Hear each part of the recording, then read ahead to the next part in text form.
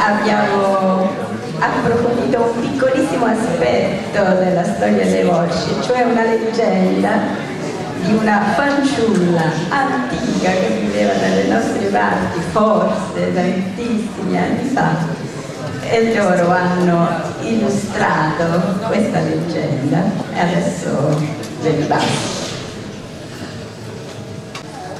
Della scuola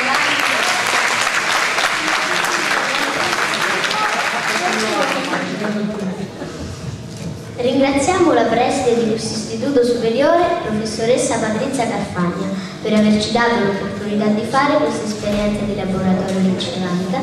Inoltre ringraziamo le nostre insegnanti Daniela Fiorini e Silvana Balzano e soprattutto la professoressa Marina Longo che attraverso la storia della Vergine Camilla, una giovane principessa di Monci, Grazie alla professoressa Longo abbiamo imparato alcune permesso di rappresentare la leggenda di Camilla e di riprodurre alcuni oggetti di correnti funerari degli antichi abitanti del nostro territorio.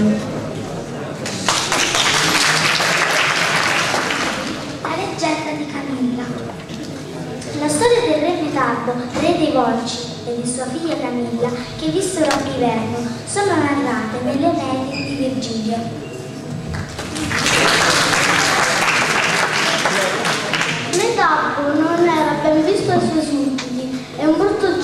popolo si ribellò in base alla reggia. Il re prese la sua figletta Camilla, appena nata, e fuggì. Attraversò il bosco e giunse sulle rive del fiume Amaseno. L'impeto delle acque gli impediva di attraversare a nuoto il fiume con sua figlia ed ebbe un'idea fulminea. Prese una corteggia, la volse intorno a Camilla e la legò ad una lampada.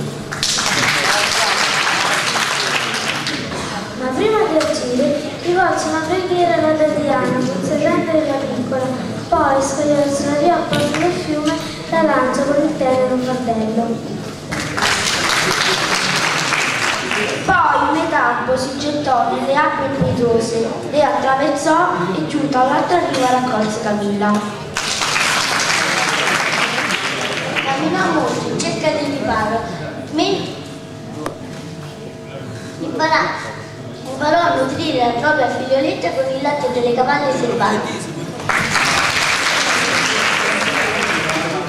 Camilla imparò fin da piccola a cavalcare usare lance e arco, degna della Diana che il padre l'aveva consacrata.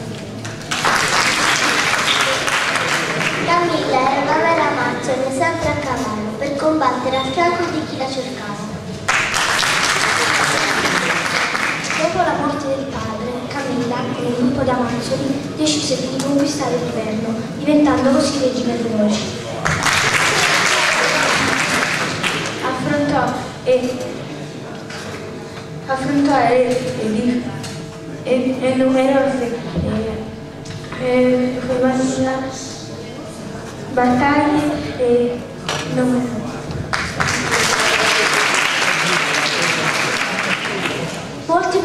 Volevano sposarla, ma lei era fedele al fuoco fatto da padre alla dea, così continuava solo a combattere e a uccidere i suoi nemici.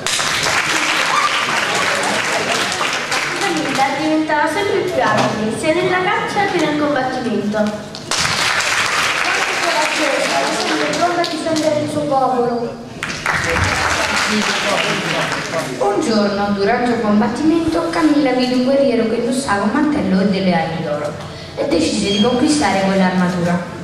Durante l'assalto perse la sua armatura di bronzo e si rese vulnerabile. Infatti fu colpita a morte da una freccia. E così termina la storia della Vergine Camilla, da cui abbiamo preso ispirazione per realizzare questi bassorilievi.